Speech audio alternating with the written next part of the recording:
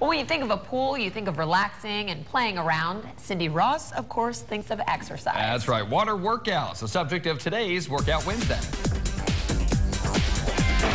Water workouts aren't just for rehab anymore. Most things you do in the gym, you can do in the pool. For one, you're having to fight your own body weight and you're having to propel your body weight in the water. So you're actually doing a lot more. As you notice, your heart rate gets up without even realizing it. Like today, we use some weights and you know, you have water belts and noodles and there's all types of different tools that you can use in the water to vary up your exercises. Where you do the workout in the pool is critical. Keep the water level between your waist and your chest for ideal water resistance.